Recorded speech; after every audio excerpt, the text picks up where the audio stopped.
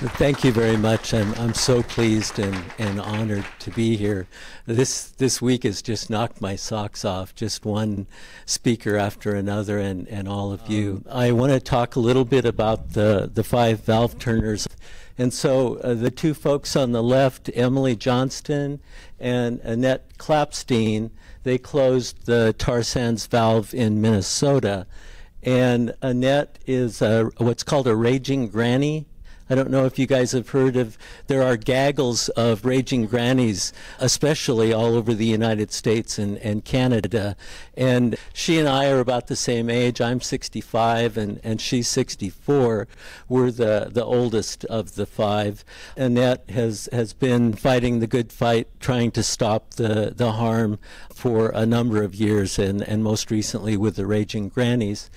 And Emily Johnston is, is a poet. She has a, a book of poetry uh, about the effect of climate change on the non-human occupants of this planet that just really uh, gets you where you live. Um, she's a, a, very outstanding activist, as is Michael with 350 Seattle. Seattle's really rocking it right now. And then uh, Ken Ward just had his trial. He was the first of the five of us to go to trial. He went to trial in Mount Vernon, Washington. He had a number of charges to start with, including the coolest one, which was assemblage of saboteurs. That was actually dropped because he ended up not having the assemblage anymore as they dropped the charges as well they should against the, the videographers, the folks covering the action in a journalistic way. Michael will be talking more about himself. Uh, I want to say a little bit. He has founded several organizations. His children are plaintiffs in the Children's Trust case against the state of Washington. He brought an organization called Plant for the Planet, and he can tell you about that. The James Hansen plan to ramp down on emissions includes the planting of one trillion trees uh, to, to work on not only stopping putting carbon into the atmosphere, but to draw that carbon down. He'll be talking more about that at the end. I wanted to tell you a little bit about myself, especially as we started talking about what we did in the action. Um, I was often introduced as the least likely to to do direct action, to to risk arrest. In the way I've spent my life and what I've done, I probably look very much like you students' parents or probably grandparents. I want to introduce you just very briefly to my mentor. Uh, you, you students were really fortunate in having Jay, folks like Jay and Will and Dave um, act as, as mentors for you. That, that makes such a huge difference to have someone that can help you see outside the, the confines of, of, your experience and help you think about things in different ways. And so Joanna Macy is, is one of my mentors. She's the, the mentor that transitioned me from having drank the Kool-Aid and, and being part of business as usual. When I, I married, I, I kind of bought into the, the whole American dream, the, the house, the car, um, the career, uh, all of that. And so in a workshop in 2007 with Joanna Macy in, in Oregon, the two kind of top level things that I was exposed to were the, the work that reconnects Spiral. Her work, um, in broad terms, is called The Great Turning, a transition from an industrial growth society to a life sustaining civilization. And the work that reconnects is is a preparation for activists and that's not using the term activist just to refer to direct action and risking arrest uh, joanna catalogs the work of the great turning into three dimensions and so i want to talk about first the the four parts of the spiral. There's opening up to gratitude. Um, that's a, a very energizing and centering thing to think about all the things that we have to be thankful. Just being alive in this world and the natural world is such a huge part of that. The next is is owning our pain for the world. I spent most of my life knowing in some deep dark place that things were horribly wrong. And and i think that so much of our culture has that same nagging um, thing. There's so much depression, so much anger, so much violence. I think comes a lot from that place of of not really facing what's wrong and and really grieving for that.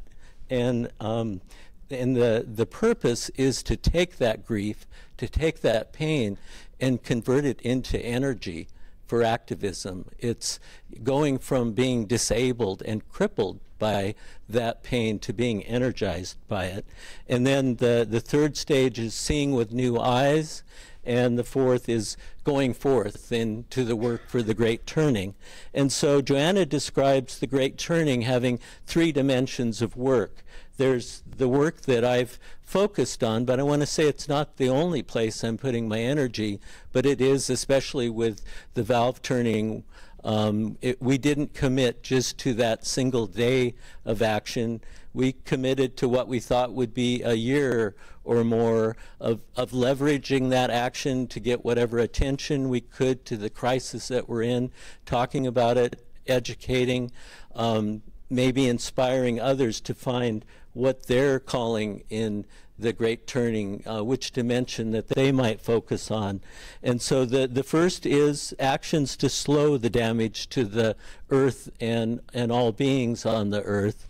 The second is an analysis, very much what you guys the purpose of this conference. Analysis of structural causes and the creation of structural alternatives. And we've heard um, so many inspiring things this week from the speakers in, in that regard.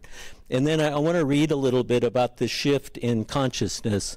Um, so uh, these this, the structural alternatives that um, th that we're coming up with, partly in this conference, can't take root and survive without deeply ingrained values to sustain them.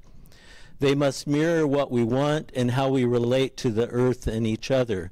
They require, in other words, a profound shift in our perception of reality. And that shift is happening now, both as a cognitive revolution and spiritual awakening. The insights and experiences that enable us to make this shift are accelerating, and they may take many forms. They arise as grief for our world, giving the lie to old paradigm notions of rugged individualism, the essential separateness of the self. They arise as a glad response to breakthroughs in scientific thought, as reductionism and materialism give way to evidence of, of a living universe and they arise in the resurgence of wisdom traditions. I'm so glad that we added Joseph Grady uh, to to the schedule.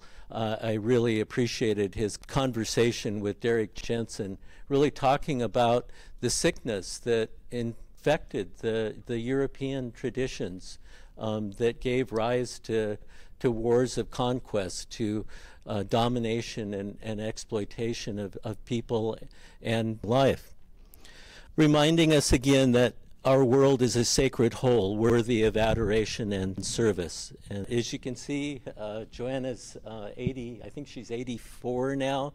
She's been doing wonderful work for 50 years and just such an inspiration to me.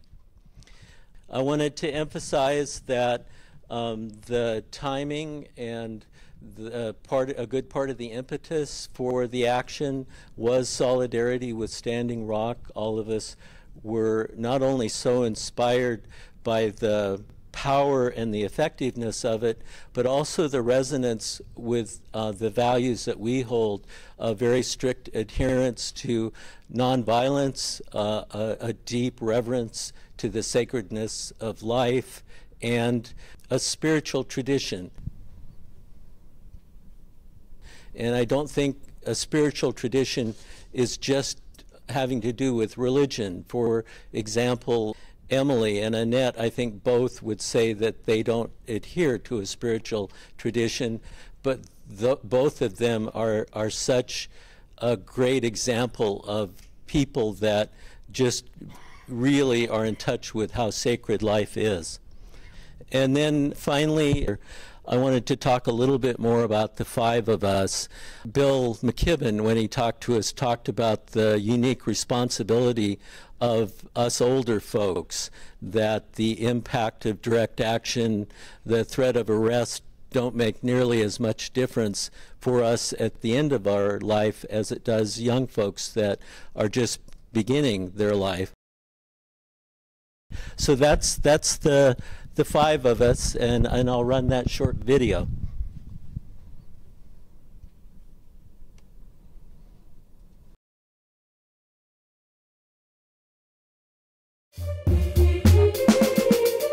This is what I'm called to do, uh, direct action, actually putting myself in, in the way of the harm that's being done. It is so blissful to actually see a place where I can apply that calling, where I can take action that has a chance of making a difference.